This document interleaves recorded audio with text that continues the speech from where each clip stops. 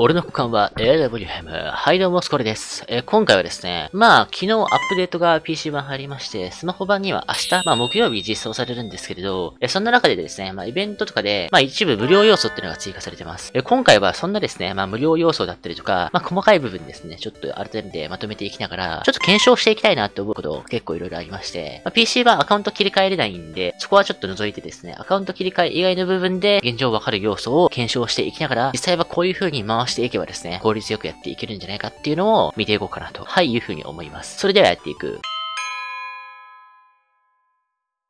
はい、というわけで話していくわけなんですけれども、話していくってか、まあやっていくというか、こんな感じですね。はい、イベントの方を見ていきますね、まず。イベントの方で、まずここでね、話して終わらせれることは、まあ、話して終わって、あと検証していきたいなというふうに思ってて。えー、まずこちらのですね、トレ君の方ですね、通常バトルでダメージを稼ぐだけでですね、トレーニング勲章がもらえると、2500点で1つ、4500点でもう1つですね、トレ君もらえるっていう風になってますね。まあ、こちらの方は前にも動画上げました。その動画をね、まあ見ていただければわかると思うんですけれど、まあ野良でですね、適当にマッチングして放置しとけば、まあ、稼げますんで、ポイントの方は、ダメージの方はですね、まあ、チームダメージという計算になっておりますので、放置で OK というわけですね。まあ、それですれば OK なので、まあ、テスト勉強しながら荒野コードを放置していれば、まあ、今回は回していけるのかなというふうに思います。で、次ですね。はい。次ちょっとですね、こちらの特殊戦術部隊の方で、まあ、ヘリコプターに乗るだけでクリアできるっていうミッションと、あと RPG ですね。これを一回発射するだけで、まあ、クリアできるっていうミッションがあります。で、これをですね、ルームでクリアすることをできるのかっていうのを、今回ちょっと見ていきたいんですよね。もしもそのルームクリアが可能なのであれば、えかなりですね、高い効率で回すことっていうのが可能になってきますから、ちょっとそれ早速ね、検証していこうと思います。とりあえずまあ、まずはですね、ルームの方を立ち上げていきましょう。OK です。まあ、特殊戦術部隊の方ですね。まあ、ルームの方の戻り、まだ残っておりますので、こちらの方でですね、実際クリアすることができるのか試していきましょう。これ、ボッと補充できないのか、これだと、若干そこがめんどくさいかな。若干。それちょっとめんどくさいですね。はい。OK、とりあえずロケラン検しましたので、こちらの方を打ってね、ミッションクリアできるのか検証していきましょう。これで、あと、一発ったら次回すりゃいいっしょ。OK でーす。これで、OK と。実際これでクリアできるのかっていうのを見ていきたいですね。はい。待機場にね、ヘリコプターあるんで、あれ乗ってクリアっていうのも、もしかしたらいいかもしれないですね、正直。それでも分かったかもしれないです。はい。じゃあイベントの方を見ていきます。これでクリア可能扱いになってますね。はい。というわけで、ルームでクリアできますので、皆さんルームを活用してですね、この特殊戦術部隊のパックの方ですね、受け取ってみるといいと思いますね。じゃあちょっとね、念のため中身の方も見ていきましょう。何が入っているのかっていう感じですね。何がっていうか、まあ、書いてるんですよね。入っているものは。一応トレーニング勲章のかけら、栄光勲章のかけらなどが入っているって書いてまして、かけら出るんだったらいつ入ってるかってのを知りたいですね。え、1個なの ?1 個はきつくない？入っってるかけら一つは厳しくないですか？これはちょっと回す価値なさそうですね。はい。で、お次はこちらですね。まあ、ペンギンのスクラッチがあるわけなんですけれども、でこちらスクラッチの方でですね、まあ、うまく当たれば100個当たると。まあ、100個当たらなくても、2等の30個とか、3等の10個とか、まあ、無料要素を周回していく中では、そこでまあ十分っていう風になるわけなんですよね。30個がね、ちょいちょい当たってくれれば結構いいんですよね。まあ、キャラ作ってすぐに3位インでまず1つ手に入るわけじゃないですか。ね、クッキーが。まず1つ手に入って、で、プラスですね、まあその、もう一個のやつが手に入ったら、まあそこそこですね、まあ、効率よく回すことができると思います。何かをやるついでにですね、まあ今後そのリスマラしていく上で、通常回していく機会とか、あと普通に自分の本アカウントを使って回していくときっていうのもあると思うんですけれど、このスクラッチのカードっていうのが落ちてるんですよ、通常に。その落ちているカードを拾うと、まあ、このスクラッチの方を回して、1日ですね、最大5回まで回すことができるという風になってますので、まあ、どれぐらいの頻度でね、そのスクラッチカードを拾えるのかっていうのを検証していこうかなという風に思います。で、一応通常バトルだったら、ルーム戦以外だったら OK って書いてまして、なんか嵐じゃないといけないとか、あとなんか遊園地マップじゃないといけないとか、そういう指定はないみたいなんですよね。まあ、一応今回は Q マップを活用して、どれぐらいの頻度で見つけることができるのかっていうのを早速やっていこうかなというふうに思います。はい、というわけで早速効果してまいりましたので、漁っていこうかなというふうに思います。あ結構でも押してますね。まだ家3件しか漁ってないんですけれど、スクラッチカードの方落ちてました。はい。意外とこれあれですね。見つかるのかもしれませんね。はい。あ、もう1枚押してましたね。結構そこそこの頻度で落ちているみたいですね。3枚目。え、もう意外とちょいちょい落ちているみたいですね。はい。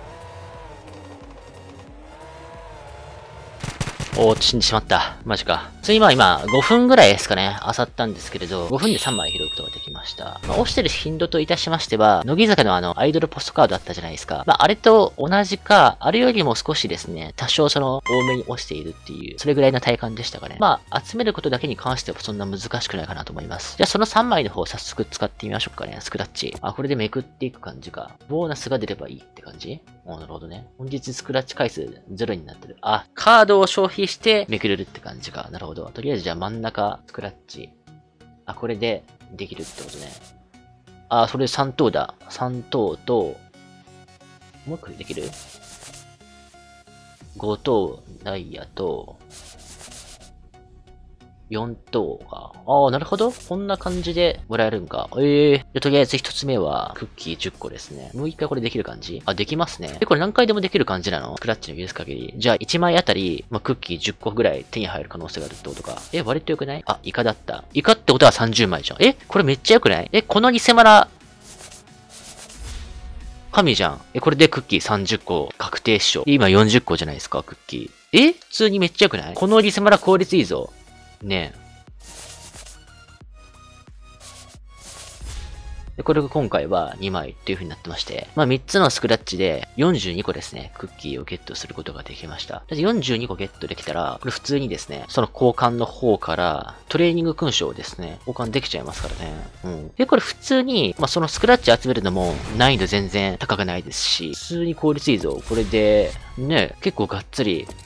トレ君交換まで簡単にいけましたんで、この偽マラ悪くないかもしれんですね。すぐそのクッキー増えますんで、これ画期的なイベント来たかもしれんす。はい。はい、というわけで、今回も皆さんの疑問や質問にお答えしていこうかなというふうに思います。まずこちらですね。こういう衣装、荒野にはいらないよな。イベント報酬だと質良すぎるし、課金限定だと普通にいらないと。まあ、今回ありました、寿司のですね、あの衣装あるじゃないですか。確かにあれ見た目可愛いっすよね。悪くはないですし、クオリティも高いと思いますが、まあ、1回60金券、まあ、1回っていうか、まあ、1コイン60金券のガチャ回して、まあ、コインの量が増えていくと。まあ、誰が考えてもですね、どう考えても課金額っていうのは、相当ですね、膨らんでしまうっていうのはわかるわけじゃないですか。まあ、正直、課金のさせ方っていうのが、ちょっと下手だなっていうふうに思いますね。普通にその栄光ガチャのオレンジ枠とか紫枠をあれにして、で、車の枠をまた適当な車入れてからみたいな、そんな感じで、で寿司栄光物資みたいな感じにした方が、僕は良かったんじゃないのかなっていうふうに思いますね。ああいう要素をサブに置いて、わ、サブに入っている要素も良くて、メインでも金枠入ってるんだったら、ワンチャン回してみようかなって人は、そちらの方が多かったと思いますし、まあ、栄光ガチャっていうのも増やすことができます。栄光ガチャ結構荒野行動運営は2種類同時に展開するってあんましないですよね。俺それした方がいいと思うんですけどね、2種類、3種類、4種類と栄光ガチャがですね、一気にその存在するような期間っていうのを作った方が、完全にその、いくらですね、無料の栄光勲章を貯めていても、まあ、飽和しちゃうじゃないですか。どうやっても足りないと。まあ、なんでガチャが回したくなるみたいな。まあ、それか、まあ、無料のですね、方で、うまくその、使って回していきたいなっていう方は、荒野行動をよりですね、してくれるようになるわけで、栄光をガチャ化した方が僕はですね、荒野行動のためになったのかなと、売り上げにもつながりますし、勢力というのも増すことができたと、はあ、いう風になります。どうしてもその荒野行動運営って、イベントのその参加意欲を上げるっていうのがすごくその下手くそだなっていう風に思ってて、そこを上げることによって、まあ無課金プレイヤーを取り込んで長い時間プレイさせる。そういうこともできますし、まあ、さっき言ったような、まあ課金要素を増やして、課金税にもより課金させることができるっていうのが効率よくですね、行えると思うんですけれど、なんでしないんですかね。で、次ですね、スコラさん、技術旋回のコラボって7つの大罪の次ですか？と。まあ、技術旋回って確か去年かな ?11 月か12月に中国の方で行われていた荒野行動と、まあ、コラボしていたなんか宇宙開発の中国の企業みたいな、確かそんな感じですよね。僕もあんまよくわかってないんですけれど、まあ、コラボっていうか、タイアップの方が近いか